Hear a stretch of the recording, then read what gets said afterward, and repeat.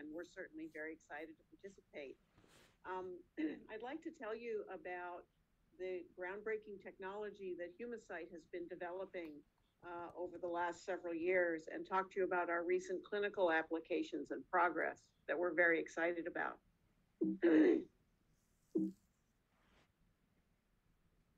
so um, Humacyte is a is a first in a generation company where we are developing really groundbreaking strategies to engineer and produce human replacement tissues at commercial scale. Uh, these tissues are grown and engineered so that they can be implantable into any human recipient without any fear of rejection. Uh, we're very excited about this technology because we've seen it be applicable uh, and useful in many disease states already uh, in our clinical trials. Humacyte as a company is committed to being the, the first company to, to bring our regenerative medicine products to the marketplace that will improve and extend the lives of patients worldwide, and we think will transform the practice of medicine. If you look at the company at a glance, um, th- there's really some high level key takeaways uh, that we'd like to communicate with you. First is that we believe we have category defining innovation. Uh, our, our method for producing tissues is unique in this space. Uh, we're the only company uh, in the world who is doing this type of automated uh, tissue production uh, at commercial scale. We also have a large body of clinical data already. We've treated more than 400 patients, and we have over 800 patient years of exposure with a tremendous amount of information about how our products perform in the clinic. Humacyte was also the first to receive the, re, the Regenerative Medicine Advanced Therapy designation by the FDA in 2017.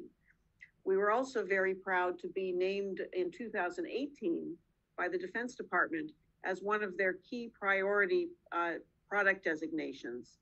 And in fact, the Defense Department and the FDA have partnered well with Humacyte to help devise clinical trials and speed our path to approval. We're very well capitalized. We've raised over $440 million. Um, and our investor base is, uh, is highly committed uh, to Humacyte's vision and to our progress. We also have an extensive product pipeline. We have two products that are, that are near term and that we, we hope to file BLAs for in, in either later this year or in 2022. But in addition, we have a host of longer term products in vascular and even non-vascular applications that we think will really drive the long-term value of our company.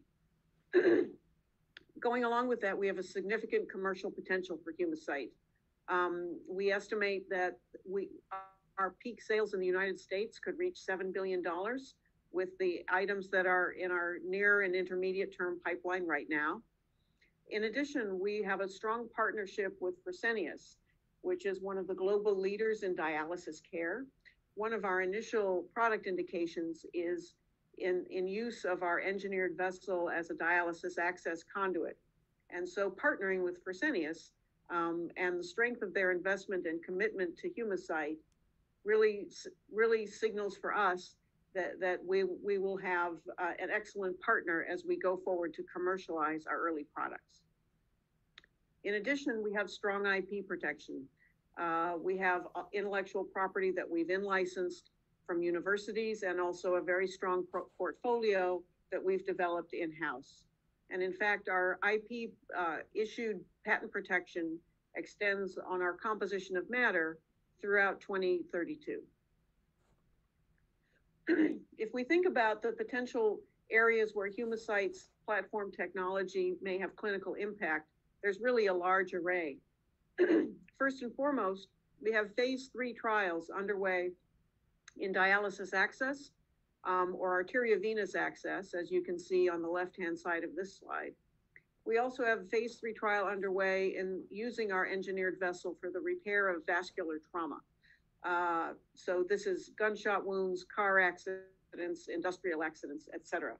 And it's this trauma indication that really has, has allowed us to partner with the Defense Department and uh, work to move our HAV forward to the clinic even more quickly to treat uh, both injured civilians, but also injured warfighters. In addition, we have phase two trials that, that are underway and completed um, in the, the use of our HAV for peripheral arterial disease. But going beyond this, um, we have uh, large animal studies that are ongoing even as we speak in the use of, of smaller versions of our vessels for coronary artery bypass and also for pediatric cardiac surgery. Uh, we're actively exploring the use of our engineered tissues and their ability to help cure and correct cardiac defects that, that some babies are born with. We're also going to determine whether, whether our vessels can grow uh, with the recipient and, and hence could be a huge boon for, for pediatric cardiac surgery and multiple types of reconstructive surgery in children. Because as we all know, there's nothing right now, there's no implant right now that will grow with a child. Um, so we're very excited about these near and intermediate term pipeline opportunities, but we also have non-vascular applications that we're very excited about. We have primate data on using a variant of our engineered uh, vessel that is stented in order to replace the airway and, and to serve as long-term airway functional replacement. We also have data on esophageal replacement and also urinary conduit and urinary diversion uh, implants. Very excitingly, we've been recently working on combining our engineered vessel with uh, pancreatic islets and essentially using our vessel as a delivery vehicle to deliver large therapeutic numbers of pancreatic islets to patients with type 1 diabetes. In the long term, this may be uh, therapeutic or even curative for patients with that terrible disease.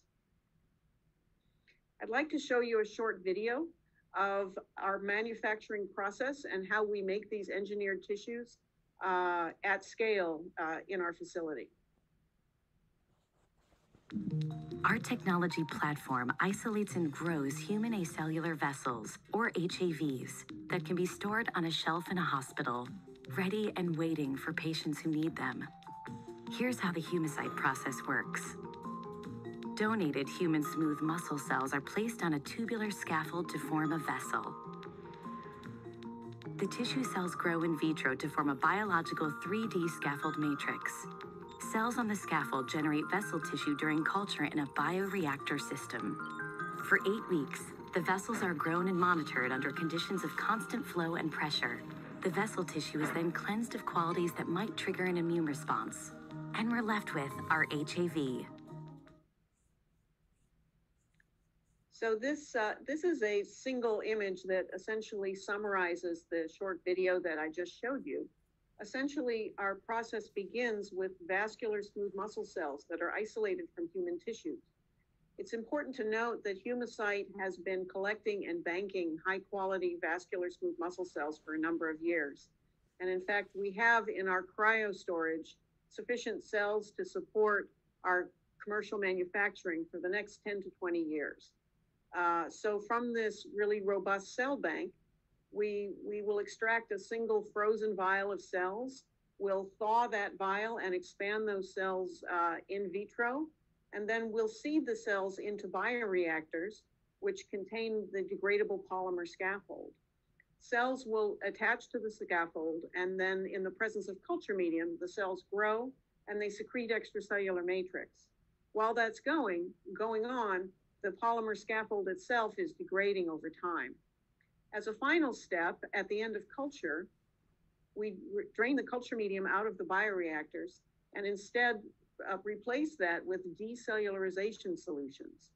In this several day process, what that does is it removes the cellular components from the tissue and allows the tissue to uh, retain its mechanical properties while being cleansed of any properties or components that might trigger an immune response. Because the, because the cells are washed away and the tissue is non-living, these vessels also have a shelf life. Our current shelf life for our product is 18 months. So our manufacturing process has been has been developed uh, to be at truly commercial scale. Uh, in our current facility in uh, Durham, North Carolina, which is an 83,000 square foot building, we currently have have installed a total of eight uh, units that we call the Luna 200 units. Each of these units can generate 1,000 vessels per year, and we have eight installed currently, although we have floor space in our facility to install a total of 40 of these units, which means that in this current facility, our manufacturing capacity could reach 40,000 vessels per year. Um, this process uh, utilizes at, at its core an individual polymer scaffold and vessel that's contained within a single bioreactor bag, which is shown on the left. 10 of these bioreactor bags are yoked together in what we call a growth drawer, and then 20 of those drawers are yoked together and connected to a single culture medium tank that supplies the same medium and nutrients to all 200 vessels as they're growing. This system uh, has been designed by Humacyte's engineers and is proprietary uh, and also is highly automated. So the amount of manpower that it takes to generate a, a batch of 200 vessels is actually quite minimal. So here's a summary of our ongoing clinical trials and, and preclinical efforts. Uh, as I mentioned earlier, we have phase three trials underway in vascular trauma and also in arteriovenous access for patients who are on hemodialysis. In addition, we have uh, two phase two trials that are completed uh, in patients who have peripheral arterial disease and have received the HAV to revascularize their limbs, which were otherwise ischemic, painful, and potentially facing amputation. Um, as I mentioned earlier, we also have active uh, primate programs underway in pediat pediatric cardiac surgery and adult cardiac surgery. And in addition, we're planning on initiating a primate study in our product to treat type 1 diabetes uh, in the coming year. So here's an example uh, and a case study from one of our phase three trials. This is from our trauma trial, which we would dub our VO5 trial. Uh, on the right, you'll see a photo of a man who suffered a gunshot wound to the left upper chest. Uh, the path of the bullet actually disrupted the artery that supplied his left arm. And so, shortly after the injury, he lost all feeling and motion in his left arm, and the arm was paralyzed. Uh, physicians at the hospital attempted to repair the, the damaged artery using a, a stenting technique, but that attempt failed. And so he was taken to the operating room to try to repair his damaged artery. Now, the surgeons could have harvested vein from his leg and then taken that vein and put it up into his chest to replace his artery. Um, however, that would have added an additional hour of time uh, before, before his arm was reperfused. And so this patient was enrolled in this trial to allow him to receive the HAV and to revascularize his arm uh, in a more in a more speedy fashion. Um, we know from clinical studies that the longer you wait to reperfuse an injured limb in this in this way, the higher the risks are of permanent limb damage and also amputation. Uh, so this patient has gone on to do very well. Um, at, at the time of his last visit, his his circulation and his arm function are completely normal. But this brings us to some of the issues that really drive potential clinical adoption of the HAV in vascular trauma. Uh, so as we know, harvesting vein from the leg to, to use to revascularize an injured patient takes time. And uh, that can delay revascularization and can lead to even more complications. In addition, using a synthetic product like something made of PTFE or Teflon uh, if those grafts are taken off the shelf and used to revascularize patients, uh, they work in the short term, but, but they can be at very high risk of infection. And if these grafts become infected, then the rate of limb amputation and even patient death becomes quite high. So this is a situation where patients with, with acute arterial injury often lack good alternatives. And surgeons caring for these patients we believe will be very motivated to use a, a excellently functioning product that they could pull off the shelf that had low rates of infection and also very high durability. So we've designed a clinical trial to study the function of the HAV in acute vascular trauma. That this trial is underway um, in uh, more than a dozen sites in the US right now. These are all major level one trauma centers. Uh, the design of the trial is a, a bit unique in that it's a single arm trial. Uh, and our comparator in this trial is historical control. Uh, we have no active comparator. So this is a single arm trial. And because of that, uh, we are not blinded in this study. Uh, we've been able to follow outcomes of patients in this pivotal trial. And we're seeing that the outcomes uh, in terms of graft patency and limb, limb salvage in these subjects has been excellent. In fact, our 30 day patency for our 27 evaluable subjects has been 100%. In addition, we have seen no instances of HAV infection in any of these trauma victims, despite the fact that many of their wounds are actually fairly contaminated. So our early results are very encouraging. Uh, we're still um, in, in, the final stages of designing this trial in collaboration with the FDA, uh, but we hope to complete enrollment of this trial later in 2021. What makes the, the trauma market particularly attractive to Humacyte is the fact that th- this is actually a fairly concentrated market, though it's an important market and a fairly large market with an estimated 70,000 patients per year in the US needing vascular repair of some kind. Uh, most of these repairs are actually concentrated in approximately 190 level one trauma centers in the US. Uh, what this means is that Humacyte will be able to field a reasonably sized sales force, sales force perhaps 15 to 20 uh, sales representatives that will allow us to interact with, with surgeons and key opinion leaders at these sites and also worked with work, work with hospital committees to uh, bring this product onto the formulary. So we're very excited about moving forward with this application. Uh, and we're also very excited to eventually see the HAV used to be treat, used to treat civilian injuries, but also injuries of, of wounded warfighters um, in, in the military. Our second phase three program has to do with dialysis access. So end-stage renal disease is, a, is an important and growing problem in the United States.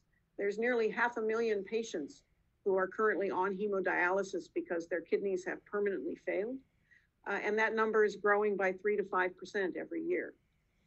Uh, uh, similar to the trauma population, dialysis patients have few really good options for uh, developing access for hemodialysis. In order to undergo dialysis, a patient with kidney failure needs a vessel that sits underneath their skin and can be accessed uh, with two needles to draw blood out of the patient and take it to the dialysis machine and then return it to the patient. Such conduits don't naturally exist in our body. And so it's necessary either to sew an artery and a vein together, which is called a fistula, or to take a piece of plastic like Teflon and to sew that between an artery and a vein in the arm. Neither of these options is, is perfect.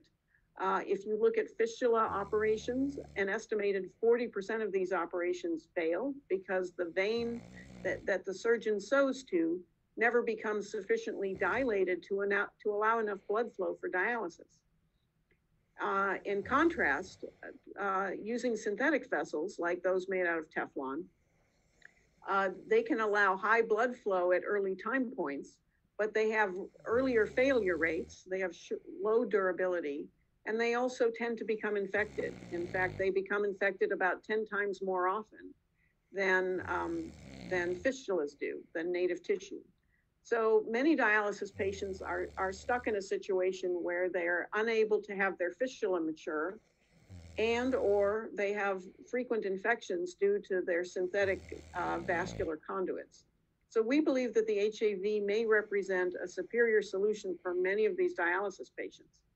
In fact, a, one case study of one of our early patients uh, is shown on the right. This is a man who suffered multiple debilitating infections from his dialysis access over a period of years. Um, he then received the HAV, and you can see it's implanted underneath his skin in the upper photo on the right-hand side of the slide. The lower photo on the right-hand side shows the same patient's arm about a year and a half after he had his implant. You may be able to appreciate that there are many needle puncture marks over the surface of the skin where this patient has had the, the graft punctured in order to undergo dialysis. So this patient's graft worked, uh, worked very well for him for a period of four years and really improved his quality of life and decreased his hospitalization uh, because he was having uh, no infections and, and was overall doing very well. So in light of this anticipated uh, profile, um, we're anticipating uh, com um, completing our phase three evaluations of the HAV in dialysis during this year, and we intend to file a BLA next year um, on this uh, indication. But to provide you a little bit of clinical data on how well the HAV performs in dialysis, we have some patients that have been using our vessels for dialysis for periods of six and seven years or longer. Um, and you can see on the lower left of this slide, you can see data showing the longevity of the HAV in dialysis from our phase two studies. A recent analysis of five-year results in our earliest patients shows that the functional patency of the HAV at five years is 58%. That compares very well with what we see with fistula and with PTFE, which are both at around 30% or lower. Um, looking at our phase three data, we can see that they're generally tracking with this phase two data. And we would expect that the secondary patency of the HAV at five years will be 50% or greater in our phase three trials uh, which is very encouraging because that shows just the durability and the uh, and the strength of this material and its ability to withstand repeated needle punctures over weeks and months and years. In addition, as I mentioned earlier, the, we've shown that the HAV uh, really significantly resists infection. Uh, in fact, data from one of our phase three trials, which is shown on the lower right, shows you that there's a significantly decreased rate of infection in the HAV grafts in dialysis as compared to PTFE. In fact, the PTFE infection rate is five times that of the HAV in our phase three trial. So the, the profile of the HAV in dialysis is, is really appearing to be one of uh, high, very high usability, greater than 90% usability at six months, uh, very good durability, and also extremely low infection rate. So as I mentioned, as I mentioned, that there's um, nearly 500,000 patients uh, who require dialysis access um, in the U.S. Uh, as I also mentioned earlier, we've partnered with Fresenius, which is one of the world leaders in, both in, in providing dialysis service to patients, but, but also uh, a national leader in the development of outpatient surgical centers, which perform dialysis access and other vascular types of procedures. So we're very excited uh, to have had the endorsement from Fresenius uh, when they made a $150 million investment in 2018. And we're very excited to continue our partnership with them um, as they've pledged to work with us to help us to commercialize and market our, our products for in the dialysis access space in the US, but also internationally. So I'd like to talk just a little bit about our longer term pipeline. Um, as I mentioned, uh, the, the platform for, for producing human tissues allows us to produce them at scale, uh, but also allows us to produce tissues of different sizes and dimensions. So we can make them longer, fatter, shorter, smaller, we can also combine these tissues either with stents, which, which provide them with, with different mechanical characteristics and a different profile, or we can combine these tissues with cells that may be therapeutic, for example, pancreatic islets. Um, one thing that I would like to show you is our recent work in coronary artery bypass. Uh, obviously, coronary artery bypass grafting or CABG is a, is a frequently performed procedure in the United States. Uh, there's at least 200,000 of these operations done every year in the US. And if you add that onto Europe, that's about half a million procedures per year.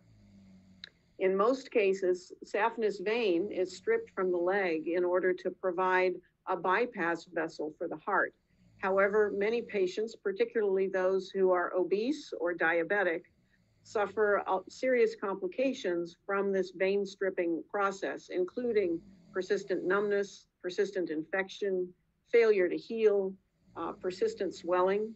Um, this, these problems are worse in women and they're worse in, in diabetics and in the, and in the overweight population.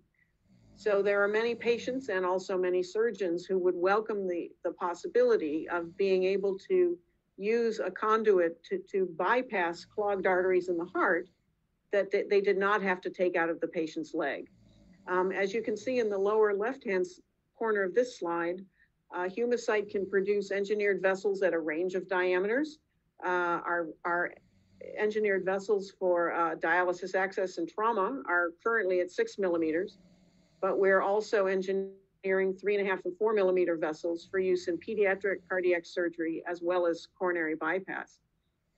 The, the film here shows a coronary bypass of, of using, it using one of Humacyte's HAVs. You can see sort of a blue uh, bluish tube uh, in this image and I can click it and, and you can see the heart beating, I hope. There we go. So the vigorous heartbeat here shows that the blood flow through the HAV conduit is actually very robust and it's supplying excellent blood and oxygen to the heart muscle. Uh, so this is a pig implant, uh, but as I mentioned, we have primate implants that are currently underway and we hope will serve as the basis for an IND filing to the FDA in order to proceed with a phase one trial in coronary artery bypass in patients.